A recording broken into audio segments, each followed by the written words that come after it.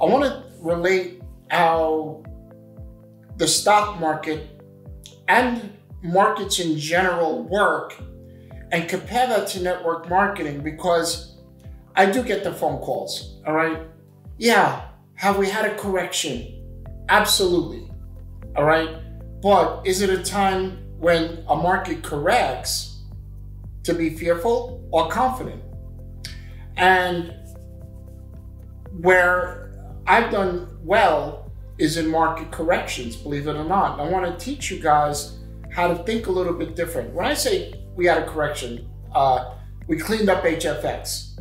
We cleaned up all the non-compliance, okay?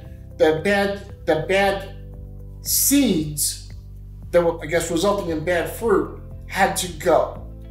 Educators had to go. Leadership had to go. Products, we had to evolve. Right now, the company uh, infrastructurally is stronger than ever. We have so many things we're releasing. We're releasing travel this month. We are in the process of building and growing. And I've heard, I have heard from Chris Terry, I'm concerned. I'm in savage mode. Get that through everybody's head. The boss is here. All right? Have faith and be a savage for success. But I want to teach you really how to succeed not only in the stock market or futures or forex or whatever because there's certain things we look at when we trade, okay?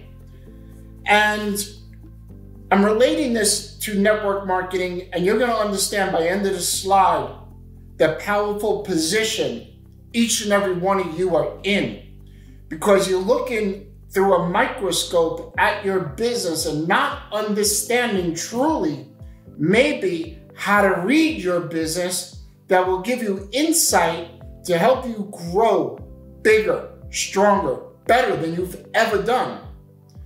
When you do anything, any business, anything, a plan is necessary.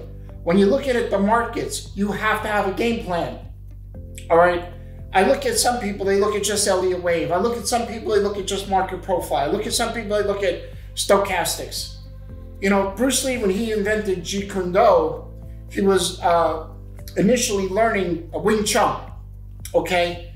And he took different arts from other areas and created his own model. And it worked. It became big and famous. He was supposedly the best, right? The same with the markets. You have to have your own model. You pick from here, you pick from there, and you pick from here, and you make it your own. Because what I do, or what Jason does, or Tyrone, or this one does, may not work exactly for you.